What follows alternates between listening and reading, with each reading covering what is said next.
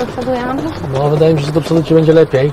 Będziemy musieli jechać e, mega ostrożnie i wolno i unikać dziur, bo każdy drganie będzie Cię bolało.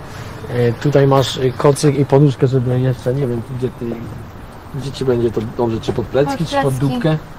To jest tak dosyć na leżąco, bo ja tam siedziałem, to nie wiem, czy chcesz trochę mniej siadać? Nie, jest, jest, Chyba tak lepiej Ci będzie na leżąco, nie?